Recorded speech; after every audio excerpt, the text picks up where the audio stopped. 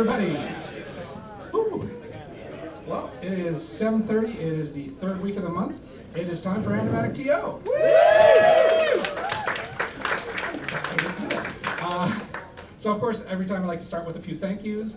Um, well, of course, I want to thank our venue, the Rhino. They've been, uh, this is our second time here, and uh, we're really enjoying the space. So uh, please, I, I, I, think I've already seen the train starting, but please support them, buy drinks, buy food. Um, but uh, I don't think I really have to tell you because I see a lot of beer. Uh, uh, of course, this, this week I especially want to, this month I especially want to thank Guys with Pencils. Um, Andrew, I just saw Andrew Murray arrive. Adam is not here at the moment. Um, but I want to thank them because they had me on this this week's podcast and had us talk about AnimaticTO and, and a bit about what we're trying to do here and what we're hoping to do in the future. So uh, give it a listen and, and tune into them regularly. Um, I also want to thank uh, Canadian Animation Resources, always a big supporter of, of this. And, and it's a rare website that actually has a focus on what's happening in the Canadian uh, animation industry. Uh, Mike Valiquette is the guy in charge of that, and he just had a baby, so he's not here to hear you, but applaud him anyway. Actually, his girlfriend had a baby, but anyway. Um, uh, also want to point out that in this very space, uh, twice a month is Tunes on Tap. Uh, costume life drawing. So, you know, if, if you've uh, been trying to get back into your life drawing chops, there's an entertaining way to do it in a bar, even better. Uh, so uh, check out their, uh, they're on Facebook as well, so check them out. Um, always, as always, I want to thank the support of TAS and of TAAFI. Um, and as always, we have raffle items, so please, I hope you're holding on to your tickets. Uh, this month, very exciting, our, our guest, Kris Pearn, brought three Art of books. Um, one is the Art of Open Season, one is the Art of, of Cloudy with a Chance of Meatballs, and one is the Art of Cloudy with a Chance of Meatballs too. And if you're very, very nice to him, maybe buy him a beer, he will sign them. Uh, they're being raffled off individually, not one person's getting all three books. Uh, so there you go. So uh, of course this is uh, AnimaticTO, this is our logo. Um, but something was interesting happened last night. Uh, I decided with the wife to watch Arthur Christmas, which is a great film. If you haven't seen it, you really should see it. And as we were watching it, uh, my, my eagle-eyed wife, who has a talent to do something which I can't do, which is read, spotted something that, that was unexpected. Uh, the Canadian Minister of Defense is Kris Pearn, and that's because I, I hadn't realized Chris had worked on this film as well. And I did the voice. And, and, and he did a voice. did you do the voice of the minister? Yeah, yeah. Okay, because you did an elf as well. The Canadian accent has kept me back. There, there you go. Um, However, they made a cross-eyed, not wall-eyed. so there you go.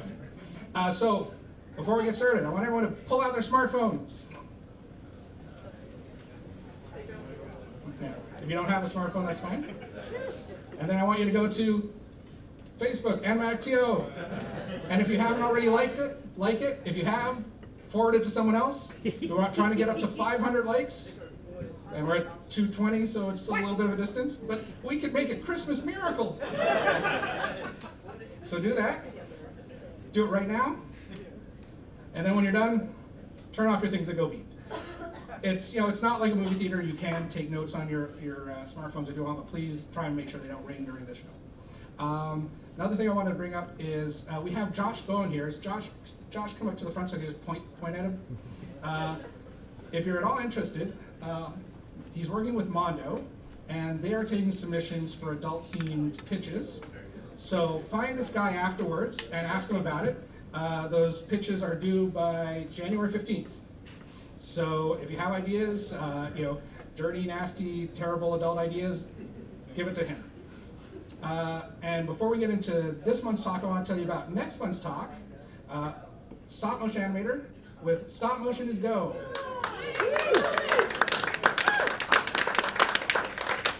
And so he's going to tell you about a little bit about his history in stop motion and about techniques and his, his view on the process.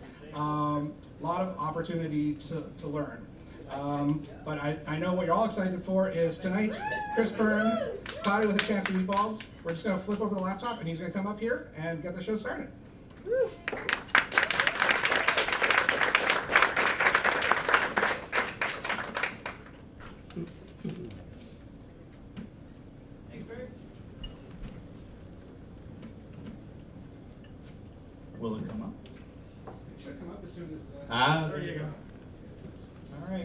screen.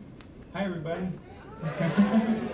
Thanks for coming out. Um, so, I want to talk about Cloudy with a Chance of Meatballs because uh, the first film was really the the way we got to the second film. So uh, there's a story that um, took me four and a half years to live through in making this film. Uh, and I was a, I was ahead of story on this project. So so I came in fairly close to the beginning, and I got to leave before it got fun at the end. Um, but during that time, I had one of the most uh, interesting, kind of exciting experiences of my life, making this film with Chris Miller and Phil Lord. But before it was a film, uh, it was really a Darwinian process of evolution. You know, the, the, the, the, story came from this, which is a kid's book that people loved. Um, and we had to get in there and ruin it and turn it into a movie. Um, when it got bought by these guys, this is the evil empire of Sony Pictures Animation.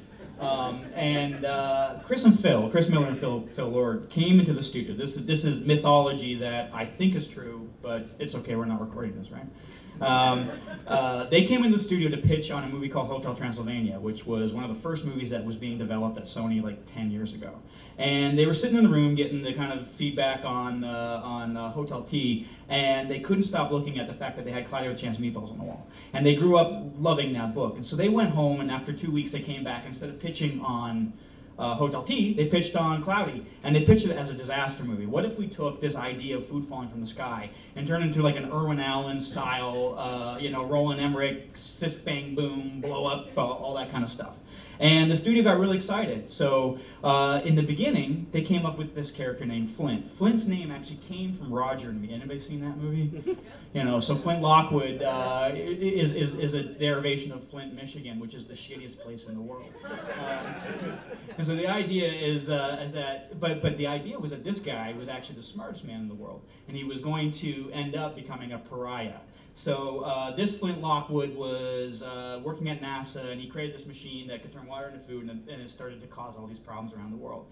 And uh, the way we were going to introduce this character was kind of like a, a Fox Mulder X-Files thing. So this is early beat boards to represent sort of where the movie was. Uh, yeah, let me see Blake's done. Uh, no, I think uh, He's got it. he's got it. Okay. And, and, and so th this just kind of give you an idea where we started. So this is uh, probably right around, what, 2006, 2007? So uh, imagine you're a starry sky in the Sonoran Desert and you see like a saguaro cactus up there. All of a sudden light falls upon it and you see that there's like these pink donuts stuck to it. We cut wide and we see the entire Sonoran Desert floor is covered in these pink donuts. We cut close, see all these pink donuts, we, uh, a gloved hand comes in and picks one up and these two shadowy figures standing in these headlights are looking at these donuts. All of a sudden, waka, waka, waka, waka, waka, waka. We see these black op helicopters coming over the ridge. They run into their car. They zip off. The helicopters are in pursuit. Suddenly, the car disappears as the helicopters go over top. We pull down and we see that this car is actually in the shape of a taco and it's in this de- kind of like the desert gulch. And inside, we see these two hairy men kind of looking up over the window. And uh, as the scene kind of progresses, we meet this guy named Flint Lockwood, who's apparently the smartest man in the universe, and his partner, who looks a little bit like a chimpanzee. And uh, and suddenly, this weather equipment comes over the top, and they kind of drive off. And as they drive off, we have the title Sony Pictures Animation. We push up to the sky, we see Cloud with Chance of Meatballs, and the stars turn into these little bubbly things, and an egg drops in to kind of, uh, you know, the, the parody of food falling from the sky kind of thing. And we pull out, and we see that, that Sam Sparks is this plucky reporter who lives in this shitty town in the middle of, of nowhere in the East Coast. And uh, she's a reporter, she's loading up her van, and she goes next door, and we meet uh, Brent McHale, who's like the, the coolest guy in town, and he's really upset because Sam has just taken a job in New York, and she's leaving the island. And, uh, and so, uh, you know, basically we see all of these characters start to come together, and they're going to collide. So we have the exact same characters, but a completely different fucking movie. Um, why animate this? That was our big question, because we have a bunch of human characters in a human world, and the problem with Flint being the smartest man in the universe is that he's not very relatable. At least I don't relate to him because I'm kind of the opposite of that. Um, and we were lacking a really deep rooting interest for, you know, why should we give a crap about this guy? So we started over. This is going to be a repeat panel. We're going to see this a few times. So we rebroke the story. So we decided, okay, what if we told our story? We're like seven artists sitting in a room. What if we made it an artist journey? Flint is a big character from a small place. Uh, he's like a backyard inventor. Um, and in this version of the story, um, Flint's aspiration was to get to this place called the United Nations or the United Science League in Iceland. And the conceit here was that we were going to start the movie by introducing a hero. And the hero wasn't going to be the main character. You were going to, we were going to flip it. So uh, what I'm going to show you is going to be a little disorientating. And the reason I'm going to show it to you is because I always love this sequence. Now I didn't board this. These are these are boarded by a guy named Andy Gaskell. Um, anyways, I'm just going to pitch it, and you guys can watch it. So is that cool? Okay. so open on an Arctic tundra, and we see a camera kind of whipping over top of it, Roland Emmerich style. We push through a, uh, a hot spring, and we see this this beaming tower on the horizon. We push in on it. As we get closer, we see the symbol of the UN, and jets whip by, and we come around, and we see these amazing scientists talking to hot girls. And as we push past towards this jet, we smash cut to a Hummer going by, and we see a, a missile being loaded into the bottom, and we see two pairs of sexy legs walking on wet cement towards camera. And we meet Jenkins, and he says, Baby, they've detected nanoradiation signature in U.S. waters. It's probably nothing, but the UN didn't get to be the most powerful organization on Earth by being sloppy. And he starts to climb up. And she goes, Jenkins, wait. He turns. Would it kill you to eat something? And she holds his sandwich up to him. He lowers his glasses. No, I guess it wouldn't kill me. Cloudy with a chance of meatballs. and from that title, we, we transition to this mad scientist lab, and we see this shadowy character commencing microtitration. He hits a button, there's stuff bubbling everywhere. Initiate genetic fusion. We see another hand kind of throw a switch, and off of that we see a mad scientist lightning bolt hit the lab. We cut wide and we see this cloud formation over top of this island, and the jet comes in. Here comes Jenkins. Nano radio meter is going to the danger zone. Sorry, Haystack. Looks like I just found your needle. You see the jet kind of coming to the thing there. He's closing in, but he takes a second to take a bite of that sandwich. Mmm, that's a good sandwich. We see him flip the switch. At that point, all of a sudden, kaboom! This big yellow explosion comes out of the top of the lab, hits him in the face. Ah! And he goes backwards. Mayday, mayday, UN jet pop, Piper Fox, Sprat, X-ray, Charlie, Charlie, struck by a very hot substance, appears to be chicken pot pie! And he's like falling backwards. Ah! And as he goes back, ah! Mm, oh, it's good. Ah! And he hits the water. Into the water. The sandwich floats up. He smiles. He wipes some, some pot pie off his face. He's about to take a bite. All of a sudden, kaboom! We see the jet go up. And we pull out from the jet and we pull inside to this lab. And we reveal that the guy who uh, was the mad scientist is actually just a dude wearing a bucket. And he pulls off his hat and we meet Flint Lockwood. So in that version of the story, uh, Flint.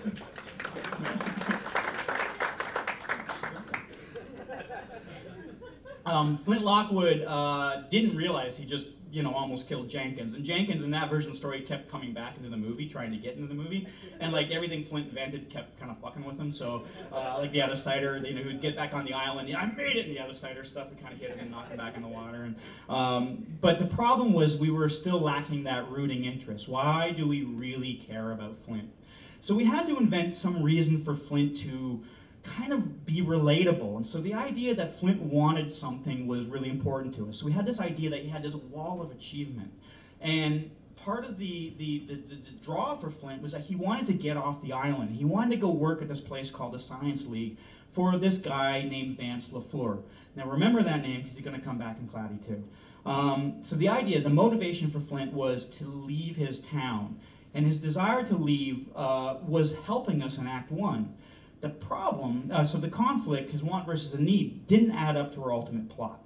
Because we knew we needed the, the movie to fight for the island. We wanted to stay there. We wanted the, the, the, the third act to, to, to sort of need to save this place. So Flint was supposed to save the world and reject this false heroes. But why? Was there a simpler want? So we threw all that out and we started over again. This is what we knew. We knew the food was going to fall from the sky. We knew that Flint was the guy who made it happen, and we knew that it all took place on an island. So, what if the food was the problem? Flint tries to fix it by inventing this the FLDSMDFR, the Flint Lockwood diatonic supermutating di dynamic food replicator. I can do that better. The Flint Lockwood diatonic supermutating dynamic food replicator, or the FLDSMDFR for short. and so he's doing this for the town. The problem is, is starvation funny? no. so, so we had to come up with another concept, another idea. So instead of the idea of like the town starving and needing food, they had plenty of food. It's just the food was shitty food. It was sardines, uh, you know, poached, fried, boiled, dried, candied, and juiced. so the, the sardines became a metaphor for the need for this community. Now, now that we tied the invention to this town's need, we needed an inciting incident. And of course, that was, this scene was boarded by one of my favorite board artists, Jack Shue. And you can't clean up his drawings because they don't get any better than that. They're just, they're just brilliant, they're so funny. Um, and, and, out of the box are just amazing. But this is the scene where Flint is like trying to stop his machine from escaping, and he hits a mailbox and he hits a fire hydrant, and he goes over a car, and of course it's a stop sign that stops him because we're dumb, and uh, and and you know he loses the machine. Now that so we had all that kind of stuff working. Uh, the problem was in this version of the movie we're still struggling to find out what he wanted as a character. Now it seemed like the low-hanging fruit was he was doing this all for the girl. I mean, I've done a lot for girls in my time, so it made sense. Uh, so we had Sam Sparks be from the island, and she was like this cute little thing that he was pining for his whole life. So he invented spray-on shoes for her.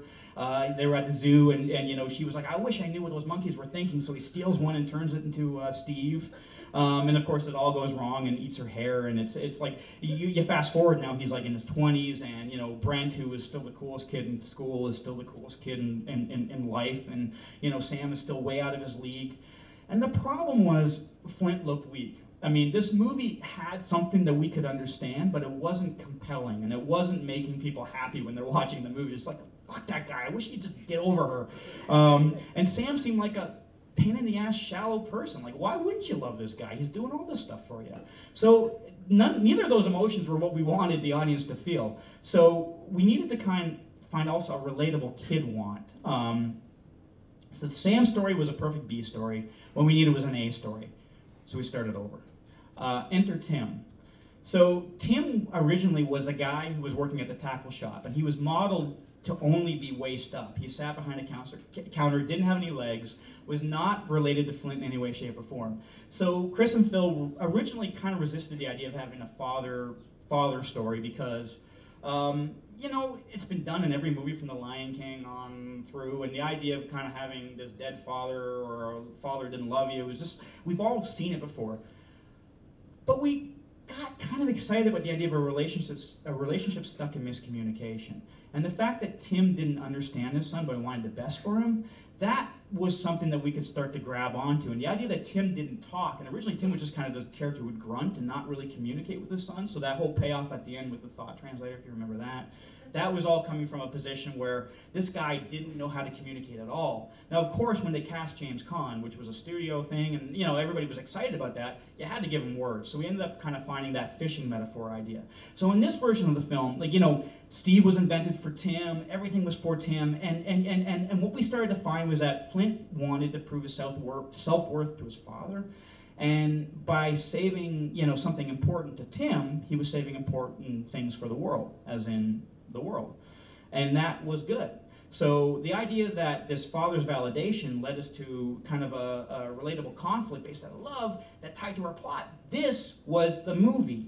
So we could care both on an emotional and a meta level. And we could relate to Flint when he does stuff like this. He's like, I promise not. And then Tim's eyes go down. Um, because we've all done that. We've all cracked up the car. We've all sort of had moments where it's like our father is not necessarily proud of us. But it gave us an arc for him. And we were able to find a way to make it fresh and sort of feel original to this movie. So as Tim arc as Tim arcs into a, a story where he's working against his son to helping his son, you know, we were able to kind of find some great comedy moments with like like like the father-son connection with the with the emailing and what have you. It also allowed us to play all of our other archetypes, positive archetypes such as Sam. You know, we had our meet cute where they collide and uh, their, their, their relationship starts in conflict. And when the characters begin to connect over the event of the food falling, um, there's a genuine sort of want for these two people to, to, to be together. So out of this conflict comes understanding. And out of that understanding comes a relationship, and out of that relationship comes love. And originally, when they were going to kiss, and it was animated this way, he kind of puffed out his cheeks and a little tiny bit of tongue came out, and that was what Tam Sam was kind of struggling with, and our censors were like, you can't do that, so it turned into a blow kiss. um, Earl became the, uh, the, the mirror to Flint Swan. And originally, he was, he was always going to be the town cop. He was always going to be voiced by Mr. T. But the idea that, that this guy had the relationship with Cal that Flint wanted with Tim uh, suddenly put him into the movie in a more um, emotional way, which was awesome. Um, and this is a scene that we ended up cutting, but like we, we actually had a version where we saw Cal get sucked up into the spaghetti twister, and Earl tried to get him, and failed. And there's that moment where the cop who can't lose uh, loses his son. And that sort of added up into this moment. We found that it was just playing too heavy. There's a point in the movie where you want to laugh and you see a man lose his son to a twister. It was hard to pull back from that. So, um, so we lost that thing, but we still kept him throwing up on his dad's back. Uh, Um, Brent, of course, was uh, wanted the same thing Flint wanted. He wanted the town's validation. He just had it his whole life. He was afraid of losing it. So the two of them start to kind of play in a nice way. Brent represents the town's want to be relevant. So when Flint and, and Brent start to bond, you start to see Flint's bonding with the town.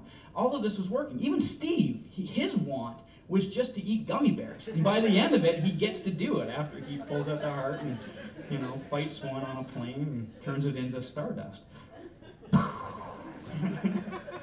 Even our negative archetypes, like Mr. Mayor, uh, you know, the mayor lands on our theme. Bigger is not always better. You know, these are uh, Chris Mitchell is one of our story artists, one of the funniest board artists I've ever seen in my life. So, I know bigger's better. I know I do. Uh, and he's like throwing the, the monkey off his back, literally.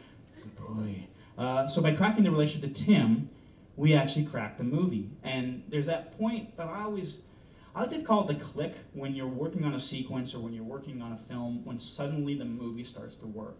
And, uh, you know, it's one of those things that you hunt for. It could take you an hour, could take you a week, could take you three years. But once we cracked that relationship with Tim, there was that moment when everybody on the film felt this calmness come over us, and we just started to have fun again. And uh, you know, then we could just play with the tone. So this, you know, in, in, a movie where you know we have this disaster thing, we could have a shot that went on for like 12 minutes where Flint runs around a twister, goes inside of it, runs into Joe Town, uh, right there, hits a stop sign again, goes through a basketball hoop, comes out, and ends up in his backyard. Um, so we could play the silliness of the film. And what I learned is that you shouldn't panic when things don't work. You should just trust the process. And it's hard to do when you got $100 million on the table and people yelling at you. But, you know, really, it's all about the conversation. And we should have fun and be stupid. And that was the end until I got the call to come back onto this thing. you all with me still? So, um, I was living in England working on Arthur Christmas, and uh, you know, part of was that? Ah, sure, whatever. Yeah, depends on what you want to see. so I was working in England, working on uh, Arthur Christmas, and uh, uh as you know, uh, the weather in England is quite shitty. So I was walking home from work one day, and I get this phone call from the studio, and it was Chris Miller, Phil Lord, and Cody, Cody Cameron, who's my co-director.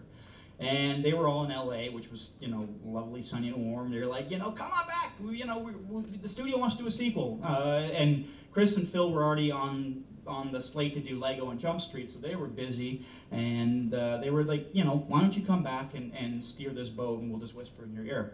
And uh, I, I got into a bush because I couldn't hear anything. It was like windy out. I was like, you want me to what? You're fucking crazy. No. And I, because I, I, I didn't think you could do it. I didn't think there was enough stuff there. But what happened was very quickly we started to talk and we started to have the conversation about sorry about the what if for this film. Now, what most people don't know is that Cloudy One had a completely different ending. So we had uh, you know, a whole monster movie ending where there was this giant food cracking in the water that Flint had to eat through its butt to get inside of it, face to foot this metaphor, while the whole town was fighting the zombie food stuff. And the movie was two and a half hours long, and when the executives saw it, they were like, no.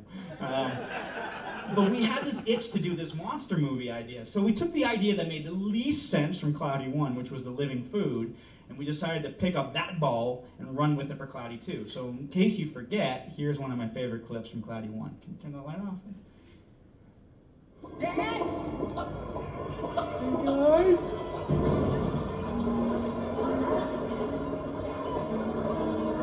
Holy crap balls. Go, go, go, go, go,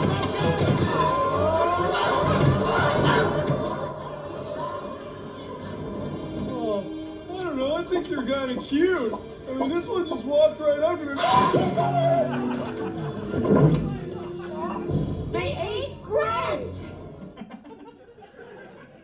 so, so that that gave us our hook. Uh, so, so we immediately kind of jumped into character design, which is a weird place to start a story.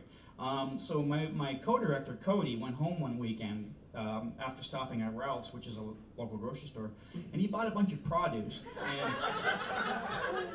in his backyard, he started to make these little food animals, and he was like kind of uh, creating little villages and subcultures, and you know there was sweet versus savory, and uh, uh, it expanded into all sorts of other fruits and vegetables, and we brought that into the studio, and they were like, "Yes!" I mean, we I spent four and a half years on Cloudy One, always feeling like we had a great movie that nobody believed in, and we just came in with with with these little food creatures with map packs, and they were like, "Yes, let's make that movie." Um, so we very uh, early on hired an amazing man named Craig Kellman. I don't know if you're are you guys familiar with his work? Uh, Madagascar, you know, kind of going back into everything in Hollywood, you know. Uh, he's like one of the best character designers ever, and. Um, uh, he went away for a weekend, and we kind of pitched him the concept of the movie that basically the food's evolved, and while Flint is gone um, and the whole town's evacuated, this kind of land of the lost grows up. And so he went away for a weekend and came up with like 200 different food animal ideas. And this is where the puns started. So if you hate puns, I'm sorry, because um, they don't get any better from here.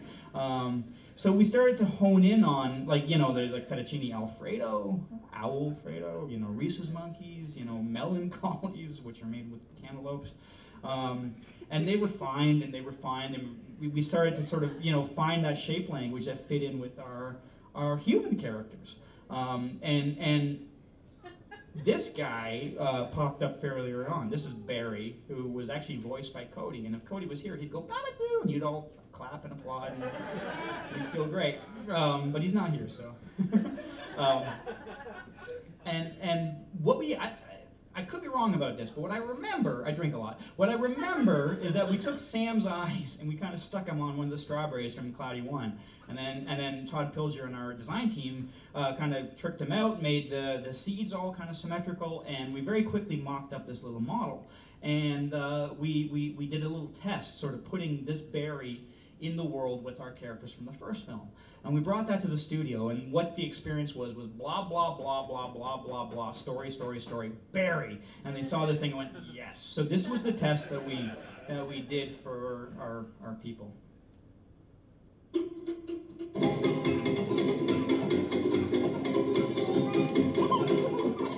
How will we ever get out of this jam?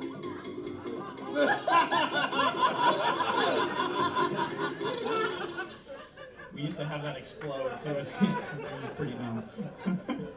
but not all of our food was going to be sweet. I mean, we couldn't just make a very soft movie in that tone. So we knew we needed to have uh, uh, like a T-Rex in the woods. So the idea of Flint's first kind of, if you look at Flint as Adam, then, then, then sort of like the temptation that sort of brought him into the first movie was the cheeseburger.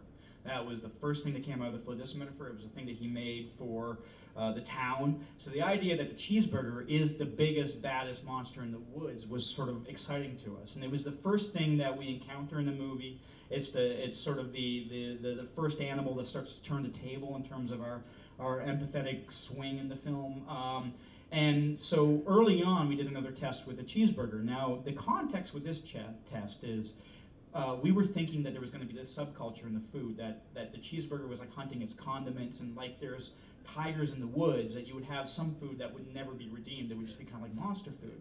Um, and ultimately, what we were trying to do was trying to figure out if we could take the buildings from Cloudy One, stick them in the jungle, and put this food in there with our characters and have it all feel like one idea. So it was all kind of fitting together. So this is a cheeseburger test. And also what we're playing with here is how the different animals move. So the cheeseburger can move different than the pickles, which are more like kind of the stooges. So um, I'll just let it play.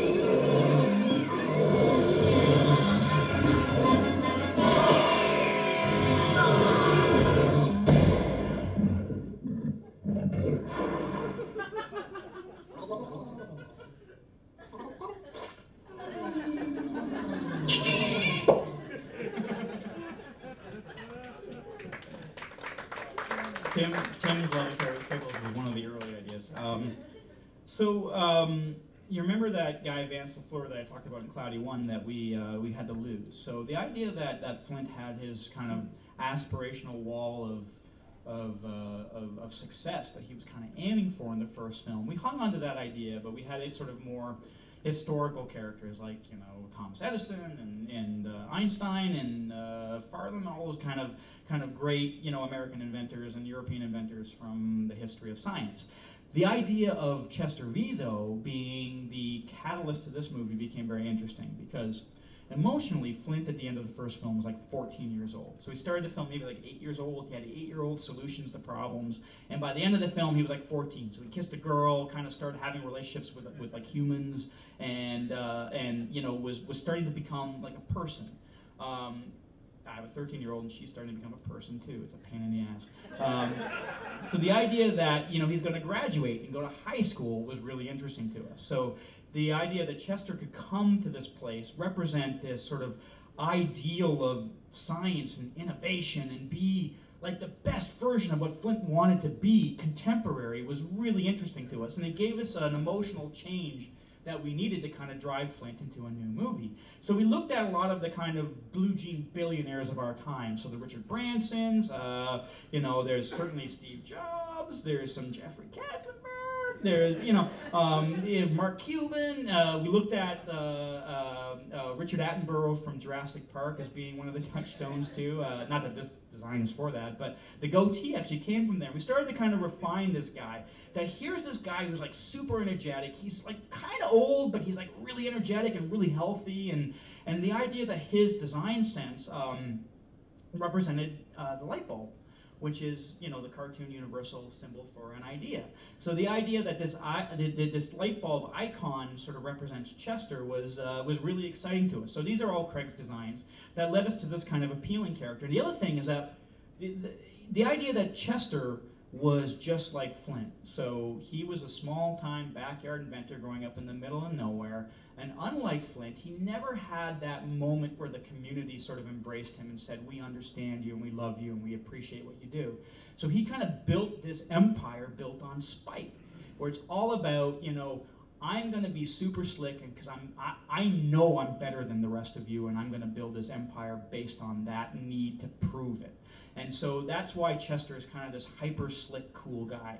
And I'm going to let uh, Pete Nash talk about the way he moves and how the animators and our animation team really helped us find this character on the story side. By the way, Pete Nash is Canadian. He's from Vancouver.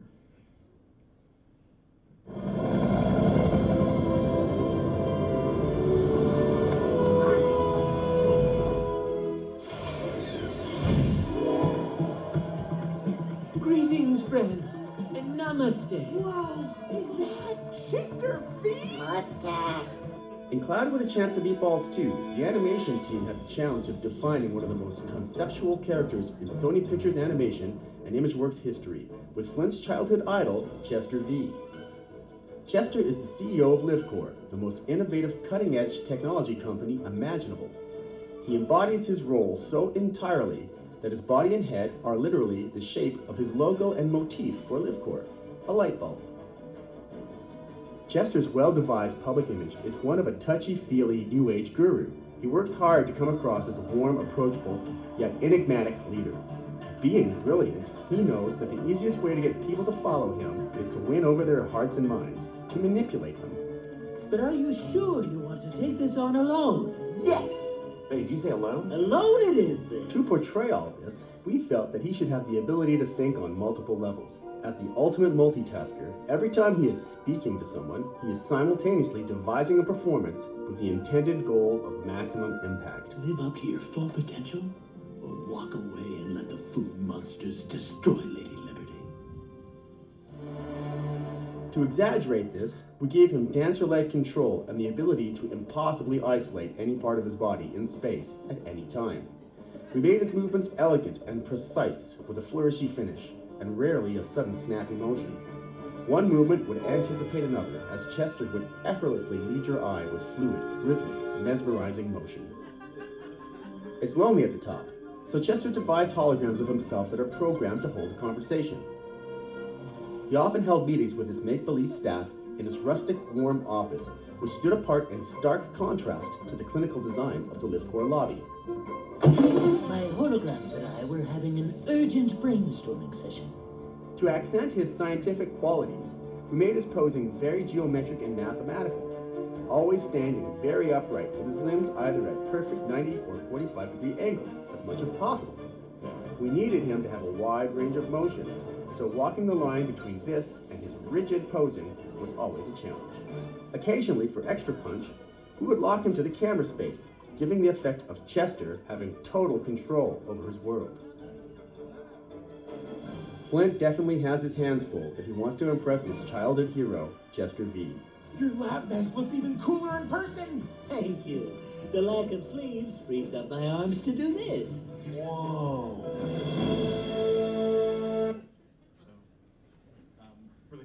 Um, so beyond Chester, we also had a new character named Barb, and and the kind of uh, mythology of Barb is that, you know, Chester had a show when he was younger that Flint used to watch. That was kind of like a Carl Sagan Cosmos thing, and so Barb would show up at the end of every episode and she would talk, and that was one of the impetuses for Flint to create Steve. The idea that you know if you're a great inventor, you would have a talking primate of some sort.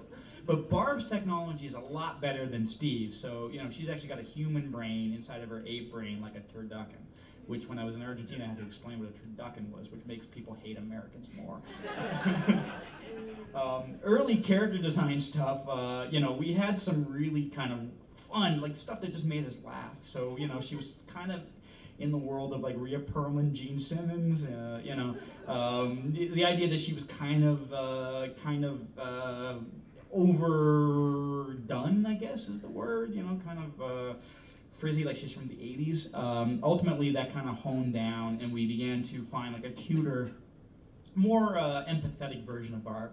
And I'm just going to show you a scene that I love that we had to cut from the film that really, I think, anticipates and sort of shows how she uh, fits into the movie as an antagonistic character for not only Flint but also Sam, and that Sam, her whole life is always threatened by being smart, and here's this, you know, primate female who never has been shy about her intelligence, and so that kind of that kind of conflict between this competitive female thing was really fun for us. Um, also, it's really awesome to see how she moves in this tube. So check her out.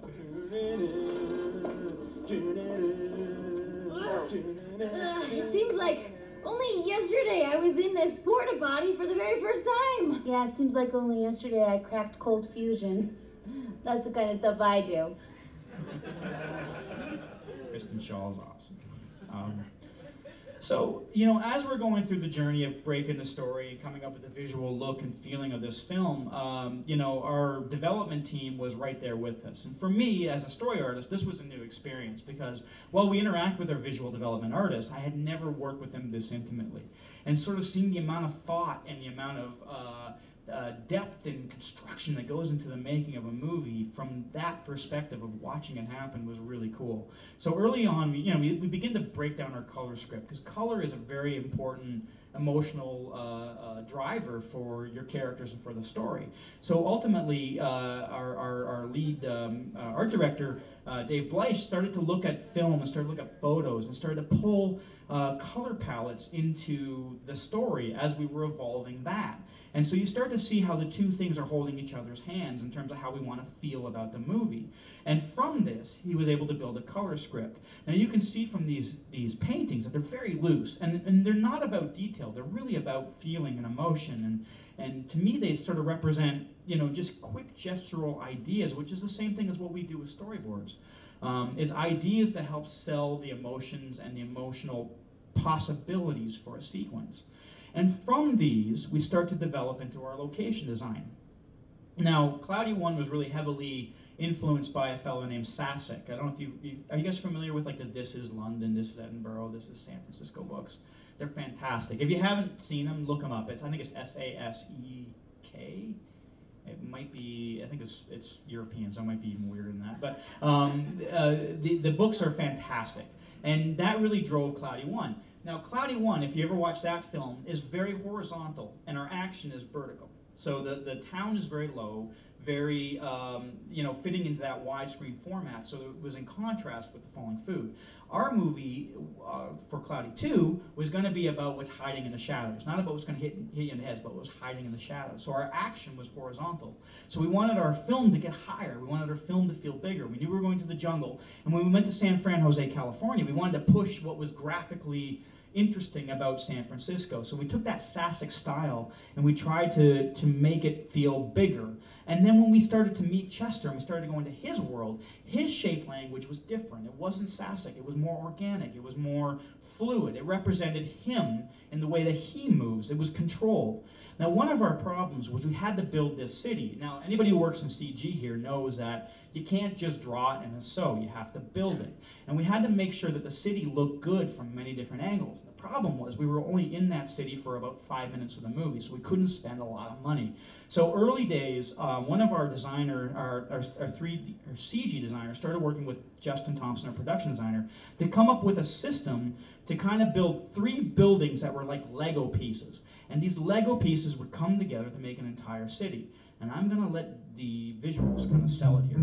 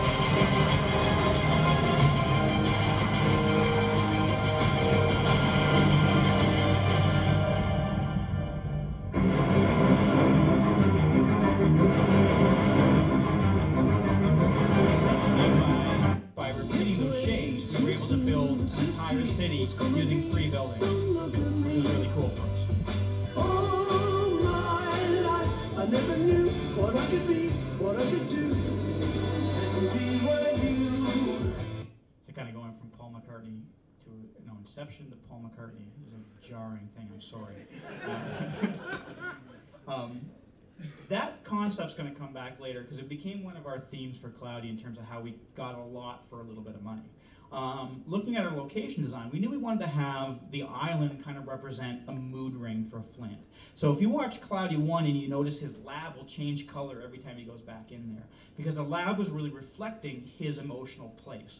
And we wanted the island to be like a creative experiment where Flint's head kind of cracked open and spilled over this entire place. And so as Flint goes on his journey, the island responds to where he is. So as he's going into hubris the and, and becomes more isolated from his friends, the island is going to respond. So we knew we needed to build a system that allowed us to kind of get a, a road movie uh, quality to uh, to a CG film that was cheap and inexpensive. So Justin Thompson, our production designer, came up with this idea of let's take a bunch of different shapes and and and and, uh, and leaves and, and and and plant types and put them into one environment, but let's attach to them the ability to change their color at the source. So as opposed to modeling a you know, a thousand different, you know, jungle shapes. We, we modeled a few hundred, and we gave all of them the ability to change their properties of texture and color.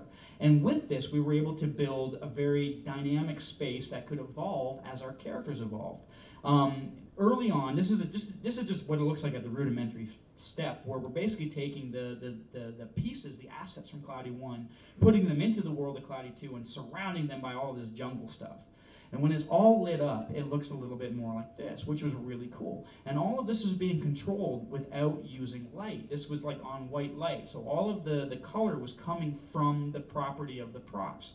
And this allowed us to kind of be really dynamic with our sets and get a lot of color, um, you know, naturally to come from the props, not the light.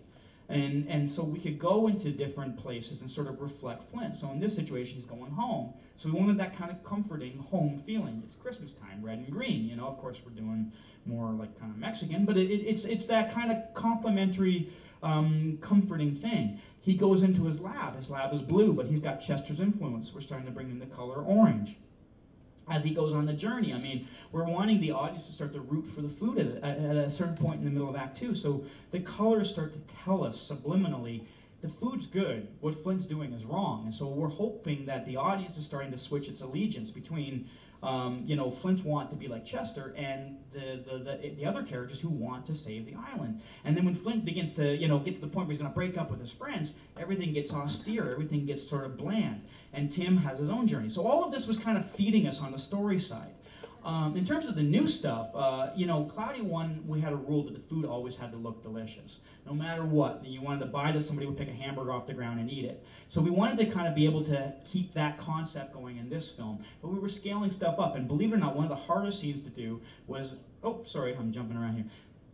Let me start over again. This is about the characters. So, uh, you know, remember the thing about the uh, the buildings? Uh, one of the hard things that we had in Cloudy One is if you watch it, there's like a, re a, repeating Joe Town that shows up every four characters in the crowd.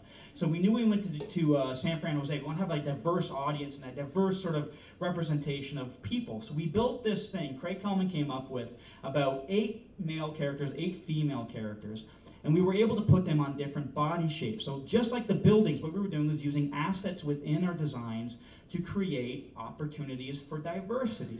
Um, and we could do a lot with just changing hairstyle and uh, skin tone, and in between these morphings, we found thousands of characters. So that looks like Justin Thompson, our production designer.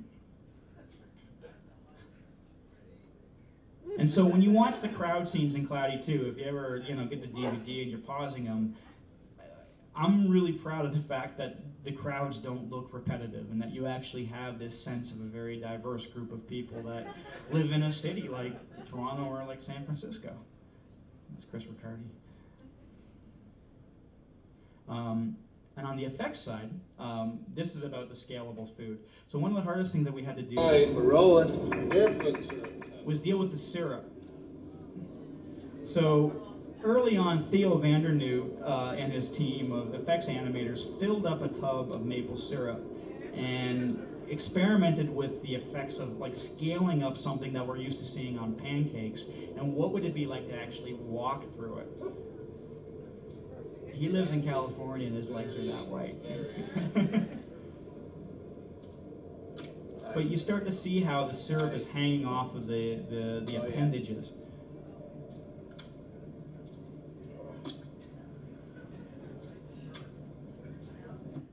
I think this was after he put his foot in it. Funny story with this. So when they were done doing this test, they put the syrup in garbage bags, as you would do to get rid of syrup that you put your feet into. And they threw them out in the back of the, the studio in Culver City. And everybody went home middle of the night, you know, one of the security guards walking back there, and all this brown shit's leaking out from these bags by the uh, by the by the can. And Americans are afraid of terrorism. They're like, "What the hell is that?" And so, you know, they call the hazmat team. So the Culver City Fire Department shows up, and I want to know who's the guy that went. I think we're okay. And as that began to evolve, now you start to see how it interacts with our characters. And while this doesn't look like it's profound, this is a, this is a lot of just time and money and smart people putting it all together. And ultimately, in the movie, It ended up looking pretty cool. And even though it's an austere set, it still looked delicious, which is what we asked him to do.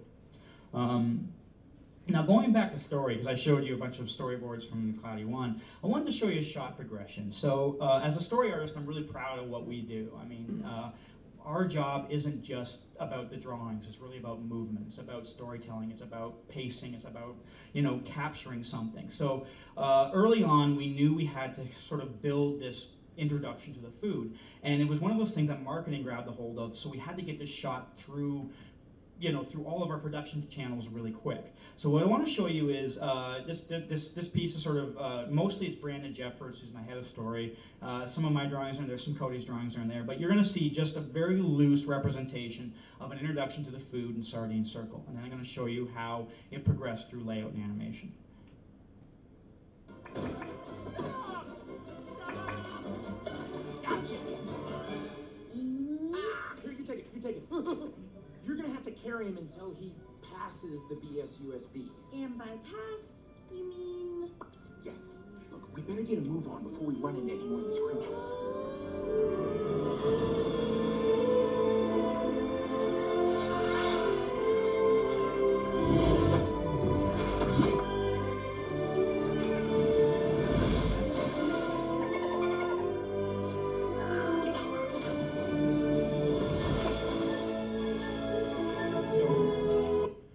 Had that kind of blueprint down, we very quickly shoved it into production. So we built a set, which is based on the um, the kind of central kind of uh, business district of Swallow Falls. And uh, James Williams, our head of layout, started working very closely with our animation team. And we began to sort of, I think with, I would say probably 20, 30 people build this shot in like two weeks. So um, what I'm going to show you right now is rough animation through layout.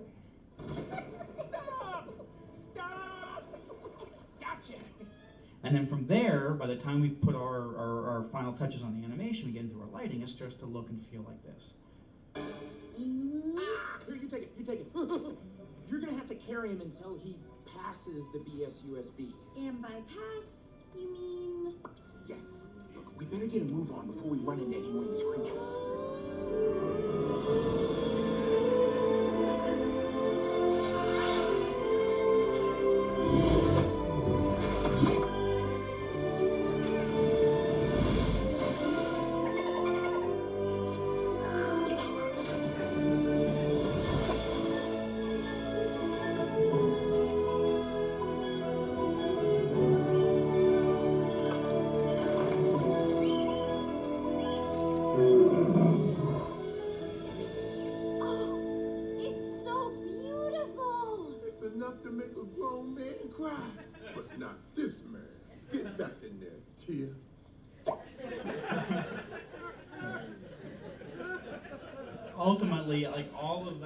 Production value, all of that kind of rich stuff starts with scribbles and, you know, a conversation in the story room. And, and uh, you know, I can't speak highly enough of the team of people that helped us get there. And, you know, it's just a, it's a beautiful thing when you finally see a movie come together. So um, having the opportunity to kind of kind of be in the chair I was in in this film was really exciting. Um, now I think I'm probably over my time. Do you guys want to see a deleted scene? Yeah. Um, the sound in here is a little fucked because we got it from editorial, but uh, you'll notice when lips aren't moving and sounds coming out, that's a mistake. But uh, essentially, uh, if anybody's seen the movie, the idea is uh, Barb comes to take Flint out of uh, Tim's house so that he can go up to Chester V and get sent on this mission. And Flint thinks he might be getting fired, so he's kind of freaked out.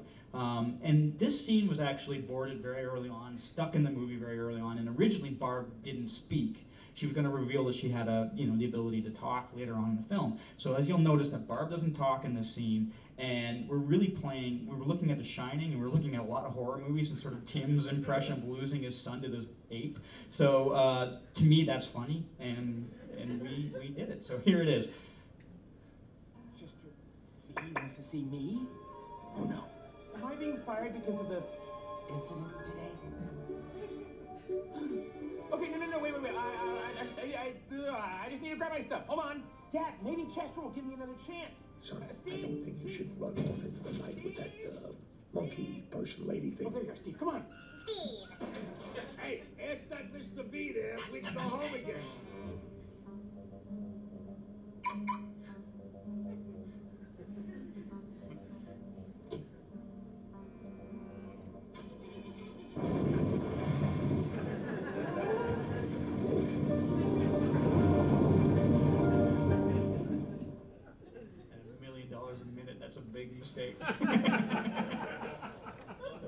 Questions? yeah, shoot. Um, did you know going into this film that you were going to be producing it in stereo? And if so, Yes. you did. So how? Oh, okay. Uh, so, gentleman here asked if we were uh, aware that we were going to make the movie in stereo. And how much did that affect uh, your storytelling? and how much did it affect our storytelling? Um, so on Cloudy One, um, about halfway through that production, we had the choice come down that we were going to make it in stereo, and um, so all of our all of our story team had this course on what works and what doesn't work in stereo, and we began to respond immediately on the story side to compositionally how we were going to handle our CG, and one of our, our CG leads, a guy named Vaughn Williams, is very passionate that that 3D needs to be comfortable for the audience the gimmick is never going to survive if people don't enjoy the experience. And so, one of the things that you know has been learned for for for years of kind of working with stereo is that stuff coming out of the camera all of a sudden hurts people's heads. And I don't know the science behind it, but it's, it's, it's got to do with sort of how you're asking the eye to adjust in terms of, of, of how it's perceiving depth. So we approached our, our process, our creative choices were based upon the idea that the screen was a shoebox and the action played into the screen.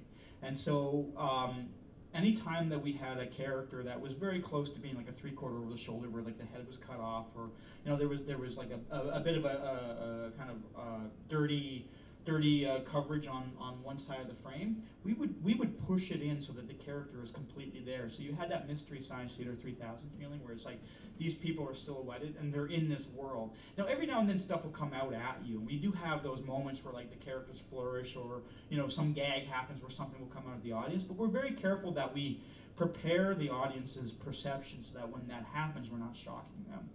And, and, and it's all subliminal because you, you want to watch the movie and forget that you're watching a 3D movie.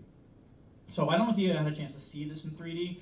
Um, I don't tend to like 3D, especially because I have like one bum eye that doesn't work so well. But when we were, when, we when we were going through the process, um, our 3D department really chased our layout department. So if you're familiar with the CG pipeline, we come on a story, we come through editorial, and then we go into layout where we start putting in like real cameras in our, our facsimile set. And at that point, when we start to block out our shots, Vaughn would start to communicate with James Williams, who was our head of layout, and we started to make CG or 3D choices, stereo choices there.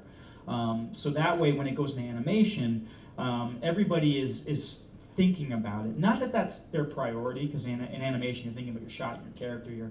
But certainly it was part of the conversation in that room. You know, are we are we hurting ourselves CG. So we're trying to make the movie at that point for two audiences. One's a 2D audience that needs to consume it at that level, and, and, and we want that to be a good experience. We also want the 3D experience or the stereo experience to be just as equally enjoyable. So um, on both movies, we got a lot of compliments from people to say, you know, said that they enjoyed the experience watching the CG. So hopefully people liked it. But I do think, you know, having intent is really important because when you do it post, it doesn't. We did we did the open season post, and it didn't it didn't feel compelling. It felt like a gimmick, you know, what I mean, as opposed to being a compositional enriching tool. So, but it was really interesting to see what worked and what didn't work. For example, on the first film, like the Burger Rain scene, um, we I ended up pulling the camera back quite a bit on shots, and we were really trying to get the feeling like the burgers were not that the burgers were coming past you, that the burgers sort of started at the frame and then came in. So that way we weren't kind of pushing the burgers towards you, they were falling away. Does that make sense? And so that way it was like a comfortable comfortable way to consume it. And even when they were coming at you, we were very careful to not have them come right at the eyes because that's really hard for because you're watching the whole thing and then suddenly you're you're asking the eyes to kind of pull in. And so we were very careful to not do that. There was a hot dog egg that was really cheeky where you kind of went right out of the camera. Uh, which I think Ian Cloudy one. I think that was like the second shot that went in because like we all kind of came out of that that that education experience. Like, yeah, we're gonna be smart. We're not gonna do we're not gonna do the ping pong thing. We're gonna. And the first fucking shot was a hot dog coming straight at the camera. the, 3D guys are like, "Fuck you guys." but no, I, I, there's a lot of respect I think for what they do, and and uh, ImageWorks has been one of the pioneers of of, uh, of, of stereo going back a long way. And I, I know it's you know kind of at a lot of studios, and but with the Zemeckis films, you know, be they what they may, they really kind of drove a lot of innovation in that. And so there's a lot of smart people that learned from those experiences that we were able to build upon. Yeah, shoot. Uh, hey, yeah, just, I wanted to ask about Barb's character design. Yeah. How, how her body uh, is kind of like the invert of the Steve Jobs-ish character. I can't remember his name. Oh, Chester, yeah. Yeah, um, but I also wanted to ask too, like, this is kind of wondering, like, did Steve Jobs died about two years before the movie came out? Did anything you enter your mind? You're like, oh, Uh, should we do that? or just anything like yeah. that? yeah, I mean, certainly, like you know, Steve Jobs was like one of the touchstones. There was a lot of other things kind of going into that. Uh, when he passed away, um, yeah, we were pretty deep in. So it was one of the things that we could talk about. It was like, is this good for us or is this in bad taste? And we just like, ah, who cares? Let's just finish the film. um, but no, certainly, um, certainly, like uh, the idea of um, of parodying, you know, this guy who was part of history was was was you know sort of part of our conversation, but.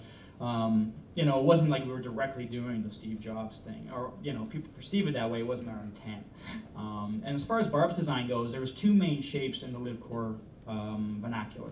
So there was a light bulb, which is who Chester represented, the hexagon, which is you know a great kind of scientific shape, you know, the beehive, that kind of thing. So so she was the hexagon, he was the light bulb. So those two characters. And if you watch the movie, um, the hexagon and light bulb repeat throughout the entire uh, Live Corp design sense. I think I see a question over there. Yeah. Oh, you want me to repeat the questions? I'm sorry. Oh, yes, yes, please repeat the I'm dumb and So I, old. I think this is more for the, for Cloudy One. Uh-huh. H- How far along uh, is the story really developed before it gets approved by the studio? It- it- Was the whole thing sort of finished? Did you have to present them the whole story, or was it sort of, was the pitch very sort of condensed and summarized, or what was the? So, uh, the gentleman was asking, you know, sort of uh, what phase is the story when we approach the studio to say, can we make this movie, right? Um, uh, it's it's very loose. Um, you know, the the first pitch, which I wasn't in that room. This was before I came onto the film. So the first pitch was really a concept thing. It's you know, what if we did a disaster movie for kids, and what if you know we we had this sort of big story where we took this book that had this event and we invent these characters based on the archetypes of, of these you know kind of um, it's like Armageddon meets blah blah blah. You know what I mean? It, it's that kind of conversation, and and um, as we would go through our process, things would get more refined, and we would have pillar points where we would have big screenings. So uh, what the studio is seeing is basically a story reel cut together with um, with with you know sound effects, uh, music, uh, everything's all temp, scratch dialogue, and we would do that every three or four months, and uh, and those are are fairly complete now. There was a few times where we would do like Act One screenings or Act One into Act Two screenings, and we'd have beat boards for the end. Um, on Cloudy One, we had a couple of resets. You know, uh, it kind of said we started over. Every time we started over, it's usually in response to a screening. So, like, you would put the movie up, and, and the studio would look at it, and then you would get the big notes. It's like conceptually, you know, are we rooting for Flint? Do we do we think that you know Flint stalking Sam since she was eight years old is, is appealing? You know, these sorts of questions become apparent, and it's hard because when you come to a screening, you're really kind of pulling your pants down in front of a lot of people that are very um, scared and judgmental because they're sitting on $100 million, and you know it's a big deal. Um, but what you're trying to do is get those no's. You want those no's because you don't want to put something out that people don't like, and you're really trying to stand back from the trees. And you know, anybody who's a parent here, you know, you're raising your kid, and you think you're just surviving day to day. Like you don't really know what the fuck you're doing. You're just trying to get through the day. And it's the same thing making a movie. You know, you're just trying to make the best decision you can make with the information you have. And until you put it up in front of an audience, you really don't know. And our first audience is a studio because they're the ones that need to, you know, buy off on this thing. So on Cloudy One, it was uh, for me it was about four and a half years, and it was closer to the fourth year when we got our official green light. Um, Was there any uh, times where you were totally, totally butted heads with them in terms of where you thought the story should go and what you Mhm. thought? Yeah, I mean that that that always happens. I mean, by the nature of sort of having an opinion, you think you're the smartest person in the room, and then you have to be proven wrong, and that's that's always tough, you know. Um, uh, uh, I do think that Chris and Phil set a great tone of conversation. So when they would get back in the corners and didn't like something that was being sort of presented to them, they were very good at sort of politically not committing and finding a way to wiggle out of the situation and find a better solution. So say we were pitching story B and studio came back and said, we don't like B, we want you to do C. They would wiggle around and try to buy time so they could come up with story versions, you know, H, J, Q, P, D, F, you know, and they would find the one that they liked the best and then come back to the studio. Said, you didn't like this. we're bumping on this, so here's a, here's a solution that maybe both of us can be happy.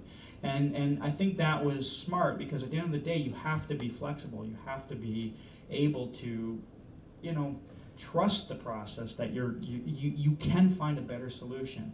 And, and and you know what? There's stuff that I love that we had to kill, and the movie got better for it. And you didn't realize it was going to happen when you were doing it. Do you know what I mean? You just kind of have to you kind of have to just trust that it's it's for the best and that you'll find the best answer sometime. You know, because you have smart people all around you. So um, yeah. Can you compare uh, your experience as a director to your experience in story and how story informed your position as a director? Um, yeah, I mean, in terms of your, uh, so uh, you, uh, Tom was asking, you know, can you compare your experience as a director and how your experience as a story artist informs that job? So uh, to your second question, as a story artist, um, we get to be part of a very small team at the beginning of a movie, and the the interesting thing about that is you get to watch it happen. You get to watch the mistakes, you get to watch the good times, you get to watch the bad times, you get to watch the crisis, you get to watch the political upheavals, and you get to see how smart people get through that. So I got a real education watching movies get made from that perspective. And I think there's a savviness that you, let's face it, as artists, we didn't get to being successful by socializing. You know, we got there by sitting in our rooms and drawing while other people went out and played hockey. You know that, and and, and so part of our job is to be social and to be political and to be in the in the playground and actually sort of have everybody feel like they're heard and, and, and there's it's a real education that I, I got over a handful of movies in terms of how to not get mad at something that's happening in the room and how to relax and how to let it sort of roll over you and how to respond. So that was really good. Um, the other thing I think in story, you're always changing. You're always you're always uh, it's like spaghetti on the wall. You're not afraid of failure. You're not afraid to, to sort of uh, you know have somebody not like your idea because there's always 10 more ideas that I could come up with. And so part of the fun of what we do is like improv. It's a yes and group, you know. Um, so you're you're uh, you're the the the ability to kind of handle the the Sturm und Drang and still make the movie is something that's really important if you're directing a film. What was your first question? Oh, okay, yeah. Uh, okay, so like um, uh, my experience. Okay, so you ever toboggan? Okay, so you get onto the movie, and it's like the first the first time you get on the movie, you're going down the hill. It's like this is fucking awesome. I love this. I want to do this all the time. You have to walk up the hill. That's the story part, getting up that hill. Um, once you get out of story, um, I was so. Um, so for me as a story artist, I love the challenge of walking up that hill. So it's not like it's a big pain in the ass that I feel. uh, You know, it's not like I'm you know in a coal mine or anything. Like it's it's pretty easy work. Um, but emotionally, there's a lot of investment. You're spending a lot of time, and you're always sort of full of this Durham and. But that Durham and is what we love to do, and that Jenga, that Tetris, of trying to fit everything together is, is the excitement of the job. It's also the hardest part of the job. So once we got story done, I, I think I can speak for both me and Cody. There's a certain point where you just start to enjoy watching smart people do their jobs. So we would go into the animation reviews, and um, we had 85 animators in Vancouver, give or take a few, and about 20 in LA. So it's a big crew. And we'd come in and they would show us stuff that would make us laugh. And we would see, we've seen this movie a billion times and we were sick of all the jokes. And they would refresh it and they would sort of make it fresh again. And they would inspire the conversation. And the yes and would grow out of their work. And I love that. And, uh, you know, we got to go to Abbey Road to do the music. And I'm sitting in a room with Mark Mothersbaugh watching 89 people play amazing instruments. And at that point, I'm just thumbs up. It's just like, I, I don't know what's good or bad. I just like it, you know? And, it, and, and, and there's just like an amazing sort of, and that's going down the hill. So to go back to the toboggan thing, you go down the hill once, it's like, this is great. And you have to go up the hill and it sucks. And then you go down the hill again and it's awesome because you, you know what you're experiencing. You know what I mean? So, so I, I feel like the, uh, the, the directing thing, I got to go down the hill twice. So, you know, most times on the story crew, I just go down the hill once and have to walk up, and then I get kicked off the movie. So, so, so it was it was really awesome to be able to sort of watch the child grow and develop and turn into something that you know you can show to an audience and sort of get their response, which is cool. One last question. Okay, sure. Uh, is there anyone? Yeah, okay, right here. Mhm. Um, like, No, no, go for Go, go ahead. For, for the film, did, what was the biggest obstacle that you had to overcome and how did you overcome it? Like, if you go Um, back in time and give yourself some advice before, like, having to tackle it, like, what do you? that's a good question. I mean, I think. Um. Oh, so what's the biggest obstacle in terms of, of breaking the film. Um, I, I got to go back to story. I think you know coming up with a good, believable story to kind of take these characters to a new journey is, is, is the hardest thing. You know, it's it, and it was the hardest thing in the first film. It was it took us the longest to get through that department. It's it's um, it's the thing you struggle with, and um, you know if I could give myself advice to do it again, I'm probably still too close to it to really have any you know clean objective. Um, I think I think uh, screening more early on and and trying to get as much audience response early so that you can start to sort of feel out sort of where because you know you spend a lot of time trying to make the movie on the political side and there's making the movie on the audience side. And the two things don't always happen at the same time. They have the same desire to make a good film you know but you know you, you have the politics where you're just trying to get the movie made. And then there's the you know is it good and does it you know does it suck? Will people like it? Will people have a good time in the theater? So those two things are hard sometimes to juggle early on. And i think there's a way to do that um, that uh, i think we got more comfortable with because you know there's an instinct to sort of protect it and sort of get it polished. Um, that storyboard sequence I showed you the progression reel that was fairly deep on the movie and like those are really scribbly drawings and there's something I love about them now do you know what I mean? And I think early on I was less comfortable with that looseness even though I'm a story artist Do you know what I mean? Like you want to put your best foot forward. So towards the end we relaxed and I wish I could start relaxed because I don't think it would have been I think we would have gotten further do you know what I mean? Because you get more when you're loose all right Stay on stage. Uh, so yes. Big hand for Kris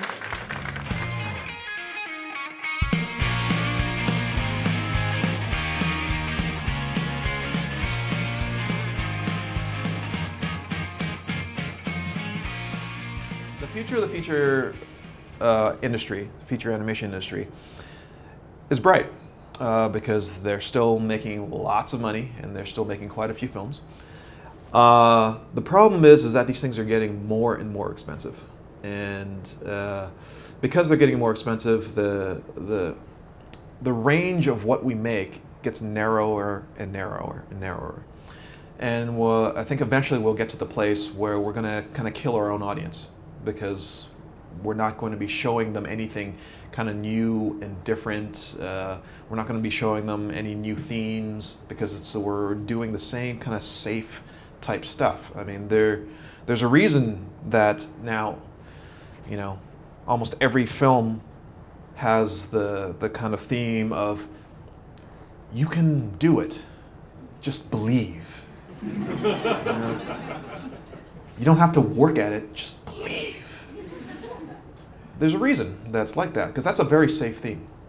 Uh, it doesn't upset anybody, and it's, it's aspirational. People can reach for that. You know, if I'm down and out and I can't make it, I just believe and it'll happen. It's total bullshit, of course, but that is what we're selling to everybody. Um, more difficult themes um, would make our industry better. But the only way we can do that is by splitting our, uh, our medium into genres.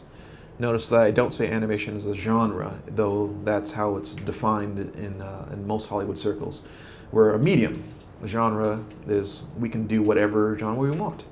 We can do something uh, preschool for you know five-year-old girls who you know love ponies, unicorns, and you know sweet things, or we can do porn, which people do. Those are all genres, and they can all be done in animation. So in animation, the only way we can hit genres is to have it make sense financially. And the only way to have it make sense financially is to do it in such a way where the budgets match the genre. So you'll see a lot of uh, animated films come out of Japan or Asia in general that have a lot of great themes. Um, some are executed well and some aren't, but there's a wide breadth of what they can do. And that's because they have a technique in which they can make these films way, way cheaper. And they have an audience who, who's willing to accept those themes. Um, the techniques that we use here are extraordinarily expensive. So the only way to get those themes here is to bring that, those prices down. So if you're going to do a romantic comedy, romantic comedies typically only cost about $30 million. So, when's the last time you saw a feature animated film in North America made for $30 million? There are very few. And if they're done, the quality is quite low. Uh, are you willing to accept that quality? Um, you can do some stuff in 2D. I mean, uh, there, uh, Sylvain Chomet has, been, has did tri- Triplets of Belleville or The Illusionist, and they're the sub sub uh, um, twenty million dollar range. And he does uh, in his genres.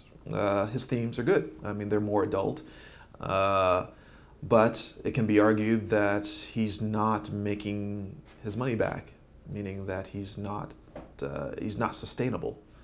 And maybe in the end he's sustainable, but it's not the sort of uh, returns that investors want. Um, people like uh, Cartoon Saloon, who are doing The Secret of Kells and uh, Song of the Sea, and their next one is The Breadwinner. Those are all sub $10 million films. Uh, and while they're designed very well, uh, the budgets show.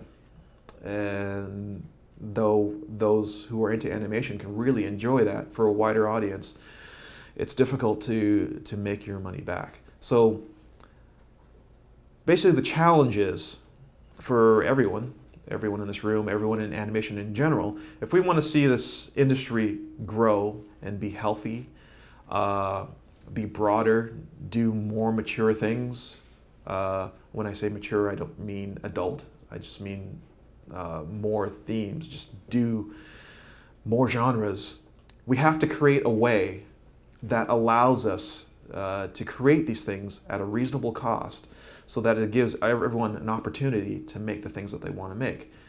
Maybe I'm part of the, the old guard where I kind of only see it in one way because that's the way that I was, grew, I was brought up in the industry.